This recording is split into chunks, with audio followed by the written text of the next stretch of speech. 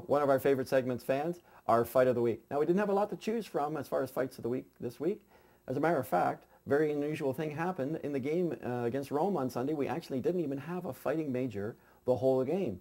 So, and we didn't play the game on Friday night against Cape Cod, as we mentioned earlier, because they never made it because of the snowstorm. So our fight of the week this week was a short fight Saturday night against Danbury. And here you'll see young uh, Aaron Naphan, who is uh, an alternate player, doesn't play every game, uh, decided to go up against tough guy, Tim um, or uh, Fulton from Danbury. And you can see this uh, fight didn't last very long. And unfortunately, as uh, Aaron Naphan was going down, he did strike his head on the ice and there was some blood. But other than that, that was the only fight of the week that we wanted to bring to you.